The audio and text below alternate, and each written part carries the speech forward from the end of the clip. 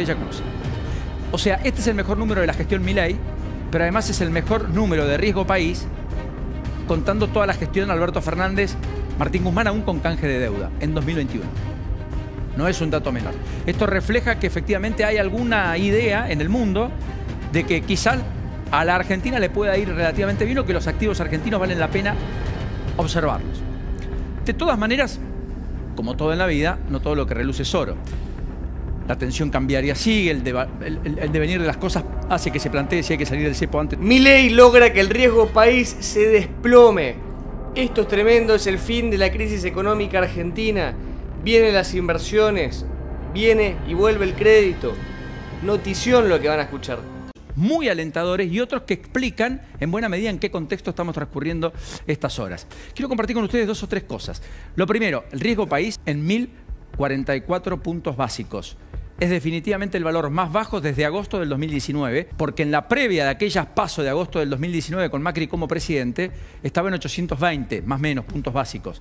Vino después el salto cambiario, el salto del el riesgo país, el desplome de los activos y los bonos argentinos en el exterior, todo lo que ustedes ya. O sea, este es el mejor número de la gestión Milei, pero además es el mejor número de riesgo país, contando toda la gestión Alberto Fernández, Martín Guzmán aún con canje de deuda en 2021. No es un dato menor. Esto refleja que efectivamente hay alguna idea en el mundo de que quizás a la Argentina le pueda ir relativamente bien o que los activos argentinos valen la pena observarlo. De todas maneras, como todo en la vida, no todo lo que reluce es oro. La tensión cambiaria sigue, el- el devenir de las cosas hace que se plantee si hay que salir del cepo antes o después. Miller ratificó que no hay fecha. Lo cierto es que la tensión cambiaria se siente en un banco central que pese a que ha juntado más de 600 millones de dólares de reservas en el transcurso del mes de octubre, hoy las reservas perdieron 400 millones de dólares porque hubo que pagarle a, a organismos multilaterales, porque se depreció el yuan. Hoy el central compró apenas 11 millones de dólares, poca cosa. Lo más importante sí que observaron algunos analistas es que por primera vez, desde que tras el blanqueo en octubre la gente puede ir y retirar lo que depositó en los bancos, los depósitos de los privados subieron. Amilcar Collantes, que viene desarrollando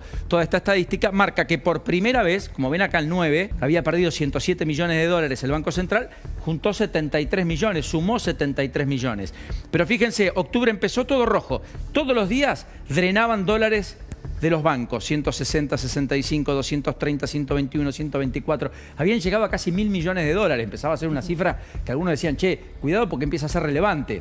Bueno, ahora sumaron 73 millones en el último registro que se. Así que yo creo que eso para matizar. Para de todas maneras la economía tiene los datos que el INTEC dio a conocer hoy y tiene esa descripción de la, yo diría, compleja, eh, más bajos desde agosto del 2019. Hace más de cinco años que no veíamos un valor tan bajo y en ese entonces teníamos un, un indicador de tres dígitos, ahora lo tenemos en 1044 y el gobierno se empieza a ilusionar de que vuelva a bajar abajo de la barrera de los mil puntos. Veremos si realmente esta semana logramos verlo con un- unos tres dígitos o no. Pero ¿por qué hablamos tanto de riesgo país? Porque es importante para el gobierno después de que a la Argentina se le abran las puertas para tener acceso a los mercados internacionales de crédito. El año que viene y los años siguientes se le vienen muchos vencimientos de deuda y si la Argentina tiene un riesgo país un poco más razonable, podría llegar a pedir crédito internacionalmente. Atención, porque uno dice, bueno, 1044 está bajando, Tal vez lo veamos debajo de los 1000 puntos. Uruguay tiene 87. Si mirás Chile o Brasil, están todos de abajo de los 200 puntos. Entonces, todavía seguimos con valores muy altos. Pedir crédito hoy es carísimo para la Argentina, pero por lo menos, bueno, eh, eh, la pregunta es si volvemos a ser un país un poco más normal. Pues es que me, me acordaba lo que dice Melina, Melisa en relación al acceso al crédito internacional, a los mercados de capitales, pero también lo pensaba en relación al crédito para los argentinos. Hay un informe que seguramente se va a discutir en el marco, en el contexto del coloquio de idea en estos días en Mar del Plata. Empieza mañana, Que, ¿no? Sí, que elaboró este, la UIA, que me llamó la atención respecto del acceso al crédito bancario, ¿no? Para los argentinos. Mira, en nuestro país es prácticamente nulo, a pesar de que hubo al- algo ahora, ¿no? Por supuesto, Correcto. incompatible con la inflación que tiene la Argentina. Solamente el 6% representa a la Argentina en materia de crédito eh, bancario. El puesto 144 en el ranking mundial. 6% del producto Del Producto Interno, correcto, del PBI. se mide, correcto. En el país, eh, eh, cuando en el resto de la región llega al 60% y en los países más avanzados el 80% del PIB. Sin contar que la Argentina tiene una presión tributaria récord eh, en relación también con otros países del mundo, ¿no? O sea que la Argentina tiene 10% menos crédito del promedio de la región. O sea que por cada argentino que toma un crédito en el mundo en general cercano, esto es dentro de la región, Uruguay en Paraguay, cada argentino que toma un crédito, hay 10 paraguayos, 10 chilenos, 10 uruguayos que tienen un crédito para comprar una vivienda, para comprar una casa. De hecho, por eso fluye de mejor modo ese crecimiento de vida que en muchos casos fue patrimonio de los argentinos en los 90 o naturalmente antes. Hasta hace no mucho tiempo atrás, un seis meses, un año atrás, lo que hablamos es que los argentinos nos endeudábamos, por ejemplo, para poder comprar un par de zapatillas, pero no tenés el acceso al crédito, al crédito hipotecario, para comprarse un auto, que empezó a cambiar un poco la lógica en los últimos meses sin embargo, todavía nos queda un largo camino por delante. Y acá una cosita más. Riesgo País, hablamos de crédito internacional, uno piensa también en la Argentina, pero también funciona mucho para las grandes compañías. Porque si una compañía quiere financiarse internacionalmente, IPF, Pampa Energía, cualquiera de estas, y ve que el riesgo país argentino es muy alto y también se le encarece el crédito a las compañías. Por eso es importante de que baje. Bueno, el riesgo país está en su nivel más bajo desde 2019. Ya está en 1044 puntos, está a punto de romper la barrera de los mil. Que el peor criminal que generó uno de los peores momentos de la Argentina fue Alberto Fernández, que la llevó a cualquier cosa. Era prácticamente el triple de esto. Cercana a 3.000, 2.800 y algo.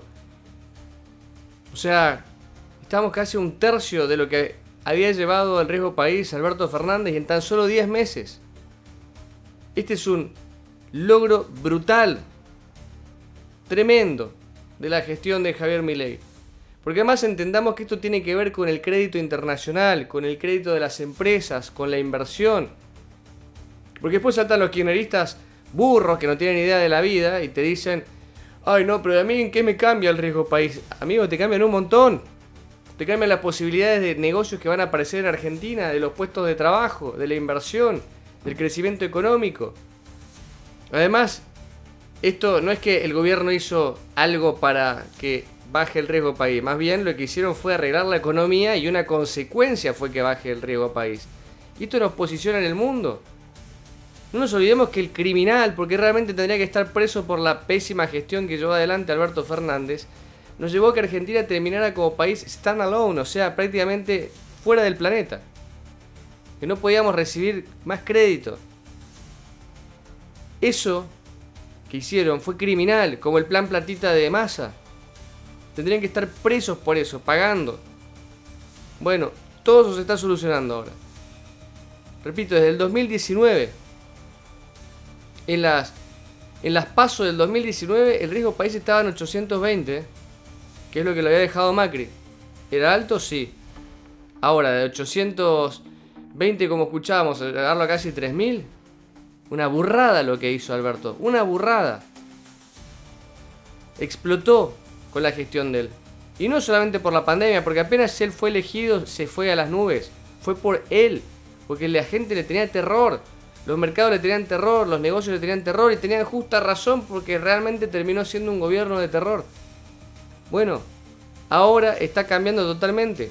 Hay un optimismo absoluto sobre los activos argentinos los bonos subiendo, las acciones subiendo, el dólar contenido, la inflación bajando, reservas en el Banco Central subiendo.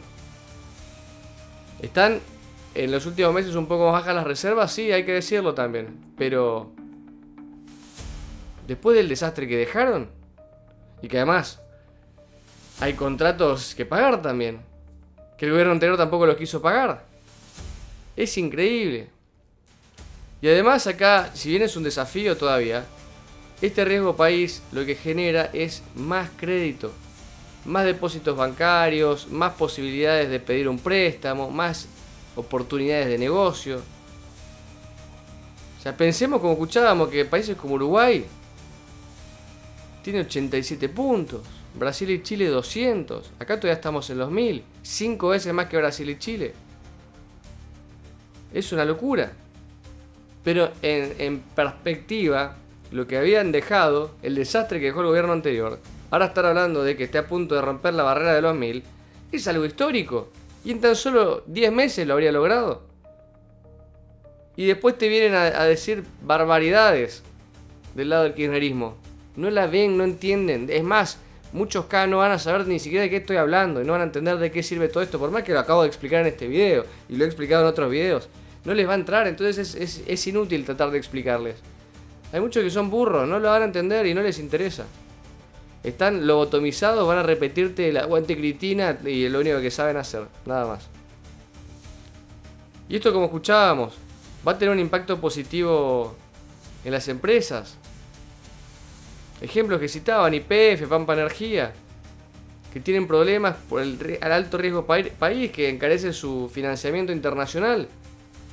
Entonces cuando venga alguno de estos burros, de estos animales, porque son verdaderos animales desconocedores absolutos de la economía, y te digan, ¿qué me beneficia el riesgo país? Bueno, empresas como IPF, como Pampa, se invierten porque pueden tener un financiamiento internacional mayor, porque acá no pueden capaz conseguir ese financiamiento, si invierten van a poner nuevas sucursales, van a poner nuevos negocios, van a expandirse, van a crecer, para eso necesitan más empleados, y si consiguen, necesitan más empleados, hay una competencia entre los empleados de, otros, de otras empresas, y entonces dicen, bueno, yo quiero cobrar más, o sea que suben los sueldos.